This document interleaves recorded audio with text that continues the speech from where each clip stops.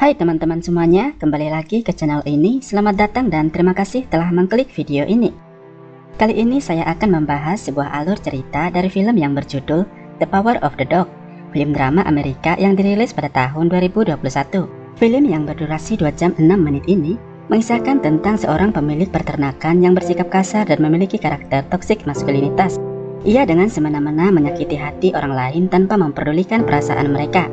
Sikapnya semakin mencari jati saat ia bertemu dengan seorang pemuda yang terlihat feminim. Ia tak enggan menghina dan merendahkan pemuda itu. Namun ternyata kalau pria kejam itu pernah memiliki hubungan dengan seorang pria. Begitulah sekilas gambaran dari film ini. Apakah hati pria kejam itu akan luluh terhadap pemuda yang feminim?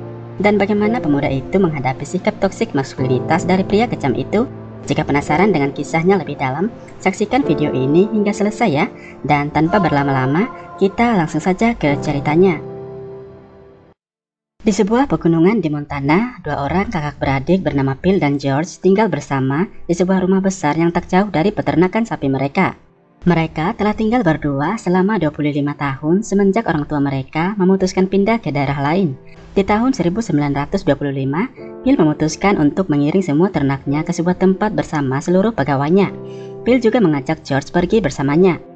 Bill dan George memiliki karakter yang jauh berbeda satu sama lainnya.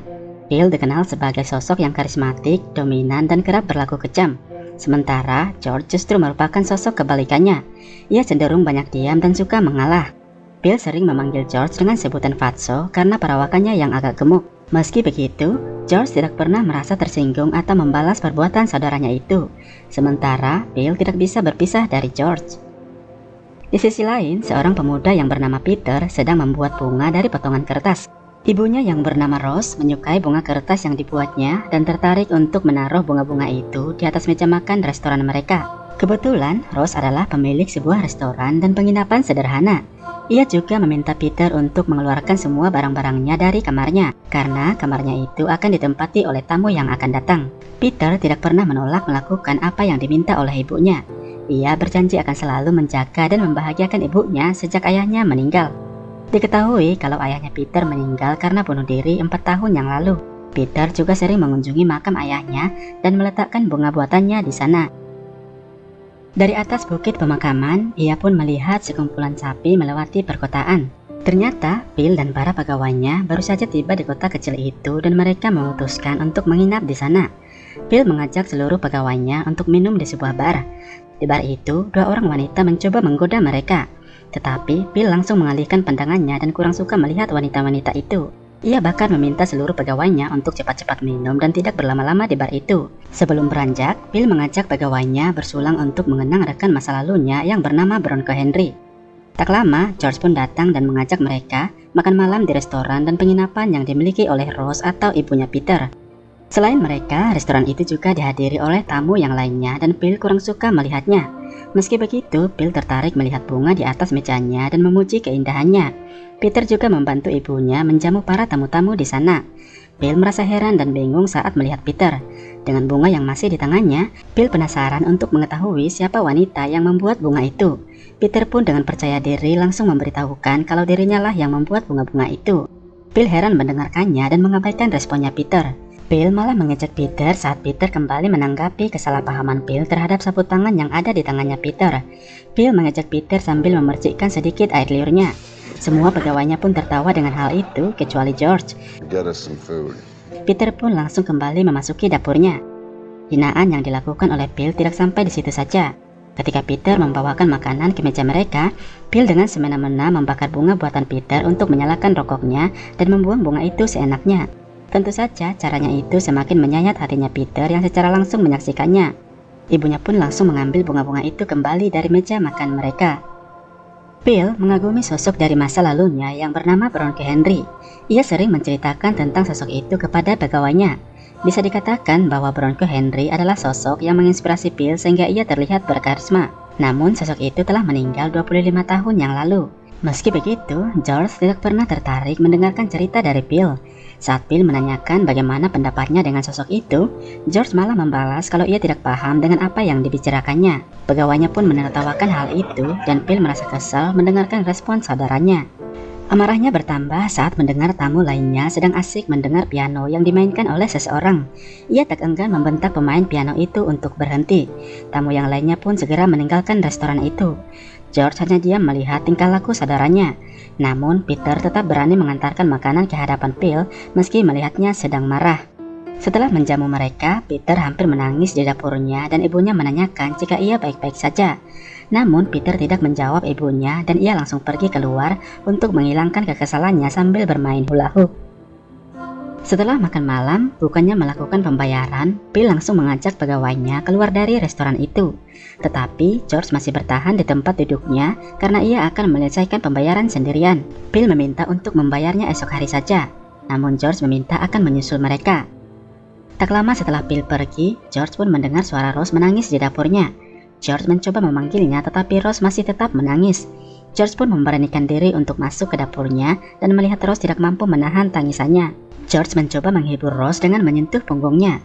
Mengetahui kalau saudaranya akan mencurangi pembayaran makan malam mereka, George pun meminta Rose untuk mengirimkan bilnya dan ia akan membayarnya melalui cek.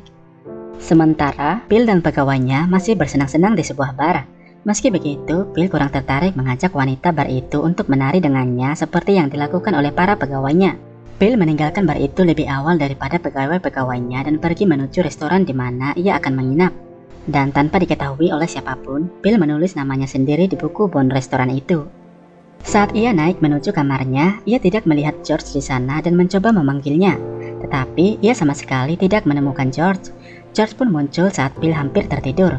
George memberitahukan kalau Rose sangat tersakiti dengan apa yang dikatakan oleh Bill kepada putranya. Ternyata saat Peter keluar meninggalkan ibunya di restoran, Bill tidak henti-hentinya menghina perawakannya Peter.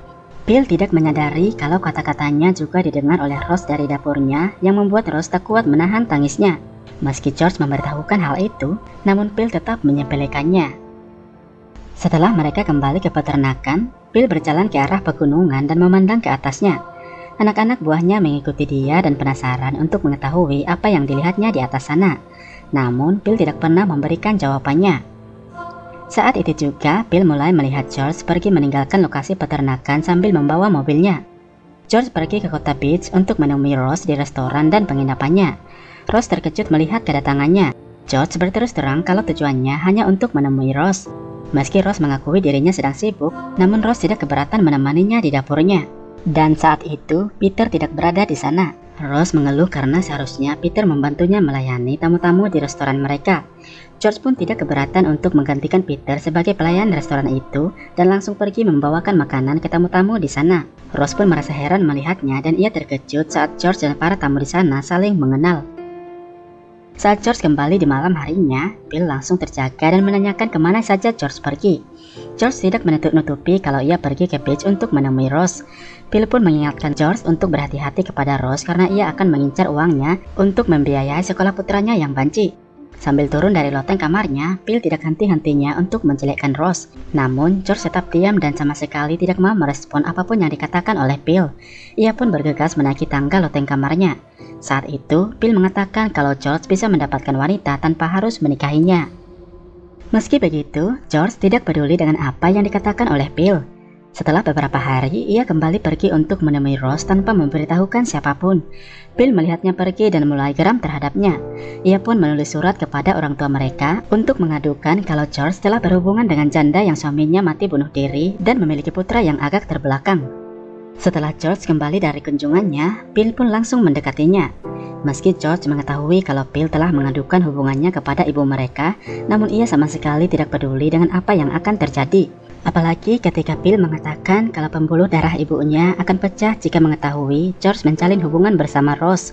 George juga tidak takut memberitahukan kalau ia akan menikahi Rose di hari Minggu mendatang. Ia mengatakan kalau Rose telah menjual seluruh propertinya dan akan tinggal bersama mereka di rumah itu. Bill sangat syok mendengarkannya. Namun, ia sepertinya tidak mempunyai hak menghentikan niat saudaranya itu. Ia pergi ke kandang kudanya dan melampiaskan amarahnya di sana dengan memukuli kudanya sendiri. George akhirnya menikah dengan Rose, dan sepertinya pernikahan mereka dilaksanakan sesimpel mungkin tanpa harus dihadiri oleh keluarga mereka. Sebelum membawa Rose tinggal bersamanya di peternakan, Rose dan George mengirimkan Peter untuk tinggal di asrama sekolahnya. Setelah itu, George lanjut membawa Rose menuju daerah peternakan. Di perjalanan, George menyarankan mengundang gubernur untuk makan malam bersama mereka sekalian memperkenalkan Rose kepada kedua mertuanya.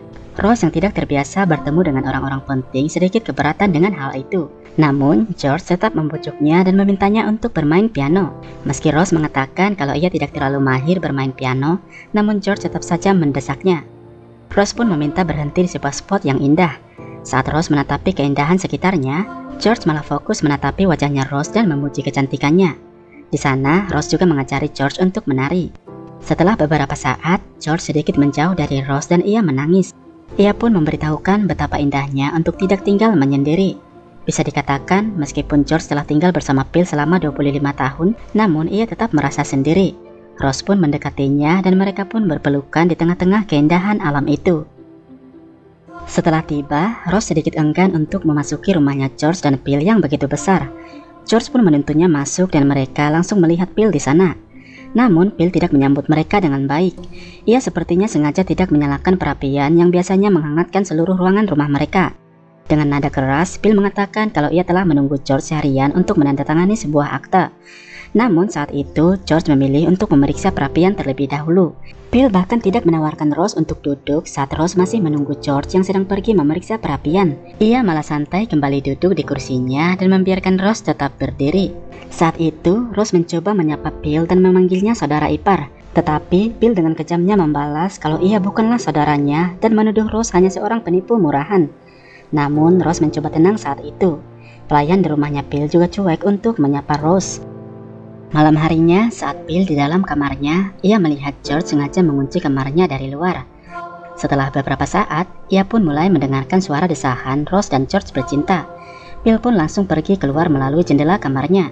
Ia pergi ke gudangnya dan di sana ia membersihkan pelana yang dulunya dimiliki oleh Bronco Henry. Ia membersihkannya dengan sepenuh hati. Pagi harinya, Bill pergi sendirian ke tempat rahasianya di hutan yang ada di sebuah tepi sungai. Di sana, ia melepaskan semua pakaiannya dan melumuri tubuhnya dengan lumpur. Ia pun berenang di sana sambil membayangkan kebersamaannya dengan Bronco Henry. Sementara, meskipun Rose sudah menjadi Nyonya Burbank atau istrinya George Burbank, namun ia tetap melakukan kebiasaannya di dapur dan membantu pelayannya. Pelayan di sana heran melihatnya dan mereka pun mulai dekat. Sepulang dari kota, George membawa kejutan buat Rose yaitu sebuah piano yang besar. Rose heran melihatnya dan mengatakan kalau piano itu terlalu bagus untuknya dan tidak terbiasa menggunakan piano semacam itu. Namun George tetap meyakinkan Rose kalau ia bisa memainkannya. Rose pun berusaha melatih kemampuan berpianonya kembali beberapa hari sebelum acara makan malam yang direncanakan oleh George diadakan. Ia menutup semua pintu dan jendela ruangannya agar tak seorang pun mengetahuinya sedang latihan. Tanpa ia sadari, Bill kembali ke rumah dan naik ke loteng kamarnya. Dengan menggunakan sebuah alat musik banjo di kamarnya, Bill mengikuti nada lagu yang sama seperti nada lagu yang dipelajari oleh Rose. Ia bahkan lebih mahir mengetahui nada itu daripada Rose dan ia seolah mengganggu konsentrasinya Rose. Rose pun berhenti latihan saat itu. Ia merasa kesal dengan tingkah lakunya Bill dan ia memilih pergi mencari udara segar keluar untuk meredamkan kekesalannya. Hari itu juga, George datang menemui Bill di gudangnya bukan untuk membahas perilakunya Bill terhadap Rose, namun ia datang memberitahukan kalau gubernur dan istrinya akan datang makan malam bersama keluarga mereka. Tentu saja, George juga mengundang saudaranya itu.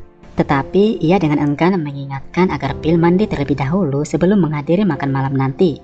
Bill sangat tersinggung mendengarkannya. Memang benar kalau Bill sangat jarang mandi di rumah kecuali saat di sungai. Esok harinya, George pun pergi menjemput kedua orang tuanya ke sebuah stasiun kereta api dan ia membawa Rose bersamanya. Saat itu, ibunya George tidak begitu tertarik bertemu dengan Rose. Rose begitu canggung saat menyambut gubernur dan istrinya datang. Ia semakin nervous saat George memberitahukan gubernur kalau Rose mahir bermain piano. Istrinya gubernur juga lebih tertarik untuk melihat Bill daripada mengajak Rose berbicara. Karena Bill belum muncul, George pun memutuskan pergi memanggilnya. Rose semakin canggung berdiri di hadapan gubernur itu. Tak lama, kedua mertuanya pun muncul dan menyapa gubernur dan istrinya. Mereka seolah mengabaikan Rose. Sifat ibu mertuanya Rose tidak jauh berbeda dengan sifat yang dimiliki oleh Bill. Ia lebih fokus menolak minuman dari tangannya Rose daripada merespon pertanyaan dari gubernur. Saat membahas tentang sebuah kutukan, ibu mertuanya Rose mengatakan kalau ia percaya bahwa kutukan itu ada. Dan ucapannya seolah mengarah kepada Rose. Rose pun benar-benar sakit hati mendengarkannya. Sementara George melihat Bill di gudangnya dengan santai dan masih belum bersiap-siap untuk menghadiri makan malam. Ia menolak hadir meski George memberitahukan kalau istri gubernur penasaran untuk melihatnya. George berusaha membujuknya dan minta maaf atas ucapannya yang kemarin. Namun Bill tidak menerima permintaan maafnya. Ia meminta George mengatakan yang sebenarnya kepada istri gubernur kalau ia tidak mandi dan sangat bau. Setelah makan malam, Rose pun diminta untuk memainkan piano. Namun Rose menolak dan mengatakan kalau ia kurang latihan. Ia juga membantah ucapannya George yang mengatakan kalau ia mahir bermain piano. Namun gubernur dan mertuanya langsung bergegas mempersilahkannya bermain piano dan tak sabar untuk mendengarkannya. George membujuk Rose saat itu. Rose mencoba memainkannya tetapi ia sama sekali tidak bisa. Ia pun minta maaf saat itu. Tentu saja hal itu mengecewakan setiap orang di sana. Gubernur pun langsung bergegas untuk pulang. Sebelum mereka pergi, Bill pun akhirnya muncul. Saat gubernur mendekati dia, ia menolak karena dirinya masih bau. Bill heran melihat acara itu cepat selesai. Ia pun menyalahkan Rose karena tidak memainkan piano buat mereka. Ia benar-benar mempermalukan Rose di hadapan mereka semua. Saat yang lainnya memberangkatkan gubernur dan istrinya pulang, Bill bersiul di hadapan Rose mengikuti nada lagu yang sempat dipelajari oleh Rose. Rose tetap berusaha menahan emosinya melihat tingkah laku abang iparnya itu. Hingga suatu hari, Rose pergi menjemput Peter ke kota untuk menghabiskan libur panasnya di peternakan. Saat mereka tiba di peternakan, Bill kembali merendahkan Peter dengan menyebutnya sebagai banci dengan mata yang membelalak. Sejak itu juga, Rose tak lupa membelikan minuman alkohol untuknya sendiri dan meminumnya secara diam-diam agar bisa lari dari tekanan atas perilakunya Bill. Saat Bill melihat anjingnya bermain atau mendekati Peter, ia memanggil anjingnya sehingga anjing itu menjauh dari Peter. Bill malah meminta anak buahnya menakut-nakuti Peter dengan kuda mereka masing-masing. Peter pun merasa takut dan kembali masuk ke dalam rumahnya. Akhirnya, Peter memutuskan pergi berburu sendirian dan berhasil mendapatkan seekor kelinci. Ia menunjukkan kelinci itu kepada ibunya. Saat itu, Peter melihat minuman keras di balik bantal ibunya dan menyadari kalau ibunya mulai minum. Saat itu juga ibunya memberitahukan kalau George sedang di kota untuk seminggu. Mendengarkan langkah kakinya Bill, Rose meminta Peter untuk tidak cemas terhadapnya. Ia pun mempersilahkan Peter untuk makan di kamarnya saja. Peter pun hanya menghabiskan waktunya di kamar ibunya. Suatu hari, pelayan di rumahnya Rose yang bernama Lola meminta memberikan wortel ke kelinci yang ada di kamarnya. Rose pun tidak keberatan mempersilahkannya. Namun pelayannya itu melihat kalau Peter telah membunuh kelinci itu dan menjadikannya untuk mempraktekkan ilmu bedahnya. Kebetulan Peter mengambil jurusan semacam biologi dan bercita-cita menjadi seorang ahli bedah. Sementara Rose mulai sering meminum alkohol dan menjadi kecanduan karenanya. Dia menyimpan banyak botol alkohol di beberapa tempat. Selain di bawah bantal dan lemari kecil kamarnya, ia juga menyimpan minumannya di tumpukan barang bekas yang ada di belakang rumahnya. Suatu saat, Bill pun melihatnya minum di sana dan kembali bersiul menakut-nakutinya. Suatu hari, saat semua anak buahnya Bill sedang asik mandi di sungai, Bill sengaja melewati dan memperhatikan mereka. Namun, ia enggan bergabung dan ia memilih pergi menuju tempat rahasianya. Di sana, ia kembali melakukan semacam ritualnya, mengeluarkan semacam kain yang masih ia simpan dari Bronco Henry dan menciuminya. Ia juga memasukkan kain itu ke arah selangkangannya dan melakukan Sementara Peter juga hendak pergi berburu ke hutan. Ia pun melihat akses menuju tempat rahasianya Bill dan penasaran memasukinya. Akses itu ditutupi oleh tumpukan ranting atau balok kayu. Peter juga melihat gubuk kecil di sana di mana Bill sering berteduh. Di sana, ia melihat kotak berisi beberapa majalah yang dimiliki oleh Bronco Henry. Majalah-majalah itu juga memperlihatkan tubuh pria telanjang. Tak lama, Peter pun mendengarkan suara dari sungai. Ia mendekati sungai itu dan melihat Bill berenang di sana. Bill berenang sambil mengikatkan kain dari Bronco Henry di lehernya. Saat berbalik, ia pun terkejut melihat Peter telah menatapinya. Ia pun langsung keluar dari sungai itu dan mengejar Peter. Peter. You want me, Mr. Burbank? Well, you know what? What? People who get to be good friends. Hell, you just saw that now. No. When I first came here. Who? Bronco Henry. And it's a cowboy tent you got. And You had to try and remove them. Phil, I've... Things gonna be plain sailing for you from now on in. Naked?